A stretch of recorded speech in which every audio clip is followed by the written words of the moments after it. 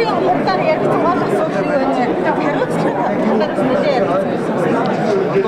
Яг ерөнхийдөө одоо улсын хурлын сонгуулийн дараа, орон нутгийн сонгуулийн дараа анх удаага баг оролцож байна.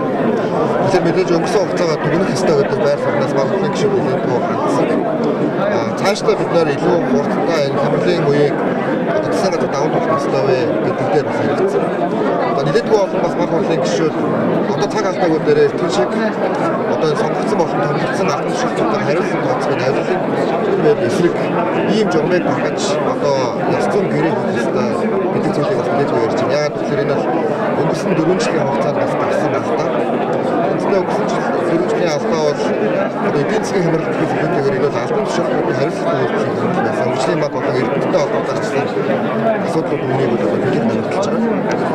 За мөн одоо цаг алдаад байгаа одоо энэ эрдэнэтэй холбоотой хөгжлийн багтай холбоотой асуудал, Монгол багтай холбоотой өнөөдөр Монгол улсыг хямралт хүргэсэн байгаа энэ асуудал дээр хууль хэлбэрийн авах гэж маш удаан байна. Энийг ажлын хэсгүүд маш удаан байна гэдэг дээр нэлээдгүй олон жишээ шүүмжилж байна. За ийм зүйлийг ерөөдөө өнөөдрийн хувьд холбоотой ярьлаа. Баг хурлаас шийдвэр гарах ба. Намын дарга нь ерөнхий сайд байх ёстой гэж байгаа хүмүүсттэй тийм энэ асуудлыг бас баг хурлын гишүүд Яг энэ бол ерөнхийдөө одоо миний ардуур чөлөөнөөр гаргаж ирсэн зарчим. Энэ бол хин нэгэн хүний төлөө хин нэгэн хүний эсрэг гэсэн болох биш. Энэ бол өөрөө ардчлалын одоо төлөв зарчим мэдл солонгод би бинээсээ ангид байх хэвээр гүйцэтгэх асуудал хууль тогтоцлын одоо хаана ялгаатай байх хэвээр.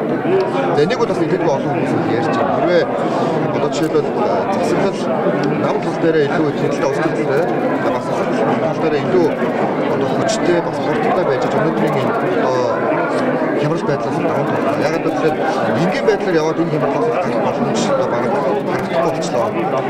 Учраас хямрал илүү хурдтай нүүрлж байна. А энэ үед засгийн газар илүү хурдтай ажиллах хэрэгтэй гэж. Зарим нь хагасаа хугацаанд ажиллах хэрэгтэй гэж бас хэлж байгаа юм шиг байна. Яг гэвэл одоо нэгээс 5 өдрийн хооронд бол илүү тийм дотоод ажилтнаа гэж зурлаад байдаг. А хагасаа өдөр магадгүй яг өдөртөө албан нэгдээд одоо энэ хямралын үеийн одоо хүн байдлыг даван хүртэл хугацаанд ингэж ажиллаж болохгүй байхгүй. Ер нь бол одоо энэ явж байгаа ингээд эргэлтээ илүү хурдтай болоо гэдэг ийм зүйлийг бол хэрэгт болох шиг ярьлаа.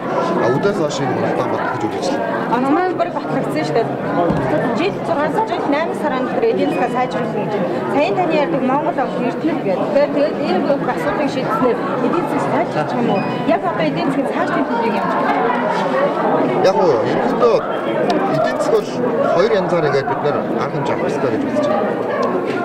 За нэгдүгээрт нь одоо жишээлбэл улсын одоо төсвийн нийт орлого маань өөрөө 5% найдвар шүү дээ. Гэтэл хөгжлийн банкнаас гараа явуулсан мөнгө нь өөрөө 5% найдвар байхгүй. А энэс 60% нь буцаж төлөгдөх боломжгүй болсон гэж. 70% найдвар үзэл. Тэгэхээр энэ ч хадгалаад нэг юм уу 1.5 их найдварыг орж ирэх энэ бол өөрөө маш том хэмжээний одоо хямралыг даван туулах одоо ач холбогдолтой гэж үзэж байгаа. Энэ бол зүгээр л хэсэг бүлэг хүмүүс аваад алга болсон. Эсвэл нэг компани тендерт 400 саяар ороод 2 тэрбум болохоор аваад маш их олон баримтууд гарч ирсэн. Хоёрдугаар нь жишээлбэл одоо энэ хөгжлийн банктай холбоотой асуудлыг үзэхээс гадна Эрдэнэт. Эрдэнэтийн дотор төлөлт өөрөө орж ирж ийж дараагийн төсөв энэ хямралтай холбоотой асуудлыг ярина. Гэтэл өнөөдрийн хүртэл Эрдэнэтийн үйлдвэр маш их тийм одоо ойлгомжгүй нөхцөл байдал явж ирж байна. Ойлгомжгүй нөхцөл байдал. Маш их тийм олон янзын байр суурь. Энийг цэвэрлэх хэрэгтэй байна. Аа одоо ажлын хэсгийн мэдээлэлээр бол Эрдэнэтийн одоо жишээлбэл татвар төлөлт зөвхөн түүхийн эрдийн үнийн онцлогоос биш өөр байдлаар энэ татвар төлөлт 3-аас 4 дахин багассан гэдэг мэдээлэл өгч байна. Тэгвэл энэ асуудлыг эргэж харж ийж дараа жилийн нөгөө нэг хямралаас гарна гэдэг маань өөрөө төсвийн орлогыг нэмтээр бүрдүүлэх гэсэн үг шүү дээ. Тийм учраас энэ дээр энэ ойлгомжтой байдлыг цэвэрлэх хэрэгтэй гэж бас олон гишүүд яриад байгаа үнэлсэн биш. А нөгөө талаараа яг зээлтэй холбоотой асуудал а хөнгөлтөө тусламжтай холбоотой асуудал, стенд бай хөтөлбөр гэдэг олон олон асуудлууд яригдж байгаа юм. Гэхдээ миний хувьд бол байр суурь юу гэхээр нэгэнтээ жишээлбэл ингээд шуудан шууданхаа одоо жишээлбэл ёроолыг оёхгүй байж бид нэр дахиж их хэмжээний зээл авна гэдэг бол аюултай. Ягаад гэвэл дахиад жишээлбэл хэдэн жилийн дараа ийм байдалд орвол бүр хизээч гарахаагүй тийм одоо үрийн тийм бинжин оролт магадaltaй байхгүй. Ингэжсэн газар одоо нэгээр Грек, Аргентин гэдэг улсууд байна. Тэгэхээр бид нэр энэ нэг сард өрөө дотоодынхоо их усрээр даваад гаднаас зээл тусламж авахгүйгээр тэр стенд бай хөтөлбөртөө ороод тэр үл илүү нэг төсвийн сахилга батыг дэвшлүүлэх боломжтой.